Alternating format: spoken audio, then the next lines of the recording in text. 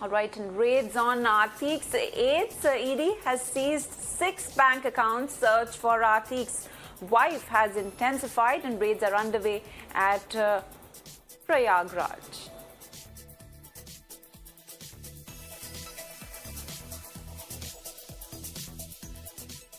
ये पहली तस्वीरें देख रहे हैं जब यूपी पुलिस एक बड़ी कॉम्बिंग ऑपरेशन कर रही है, छापेमारी चल रही है शाइस्ता और गुड्डू मुस्लिम को लेकर के ये सबसे लंबी कतार आप देख रहे हैं। इस समय हम सराय अंकिल इलाके में हैं, जहाँ पे यूपी पुलिस के जवान नो के साथ साथ यहाँ पे पैरामिलिट्री फोर्स भी गश्त कर रही है। इलाके के लोगों को आगाह किया जा रहा है कि किसी भी तरीके का कोई अगर अपराधी जो अतीक अहमद के का गुलगा है और अतीक अहमद को सहयोग देता था। वो अगर आपके पास किसी भी तरह की मदद के लिए आए तो आप उसको मदद ना करें।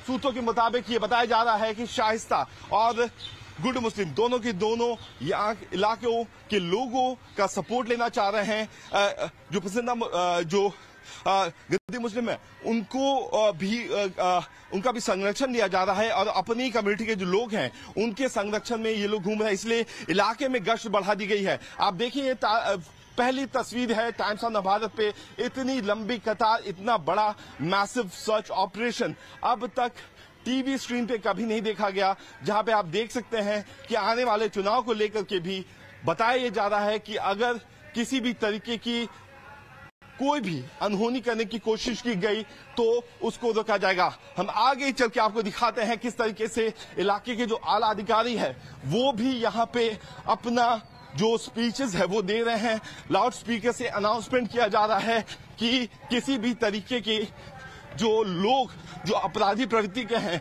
उनको संरक्षण ना दिया जाए। वही दूसरी तरफ़ अगर आप देखें तो शाइस्ता को लेकर की भी बात कही जा रही थी कि जो गद्दी मुस्लिम है, उनके इलाकों में जाकर के वो बार बार छुपती नज़र आ रही है।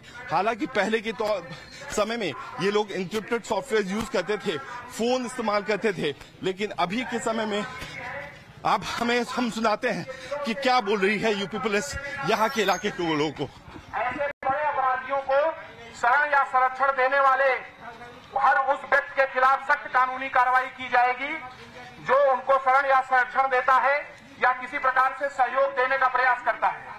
ये आप सभी को जानकारी के लिए बताया जा रहा है कि नगर निकाय चुनाव के दृष्टिगत कोई बाहर देख सकते हैं आप किस तरीके से यहाँ पे कोई भी अपराधी अगर यहाँ पे छुपने की कोशिश करे, कोई भी अपराधी यहाँ पे किसी भी तरीके के दूसरे अपराधियों को, या शाइस्ता, या गुड्डू मुस्लिम, या जो 121 के करीब जो अतीक के गुर्गे अभी भी मौजूद हैं, उनको संरक्षण देने की कोशिश करे, उस पे कड़ी से कड़ी कार्रवाई की जाएगी।